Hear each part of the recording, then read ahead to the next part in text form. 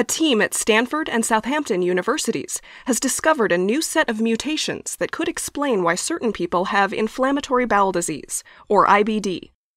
While the mutations are rare, they point to an important role for a family of so called chaperone proteins, which help other proteins fold properly in cells, and offer new ways to treat the disease.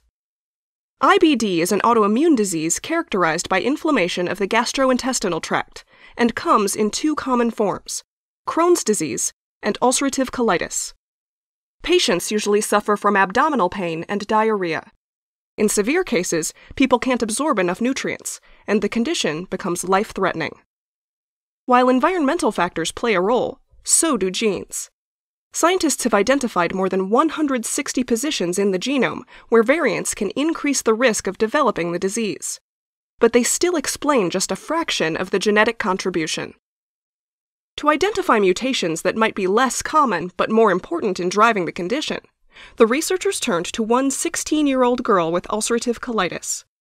She had no family history of IBD, so the team sequenced her exome, or all of her genes coding for proteins, along with those of her parents and brother, looking for critical differences.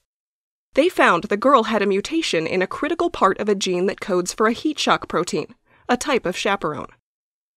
To see if other IBD patients had similar defects, the geneticists checked nearly 140 other sick children in the UK and found five other variants within the same heat shock protein. When the team tested the effect of these mutations on protein function in the lab, they found that the mutant chaperones lost much, if not all, of their ability to fold proteins.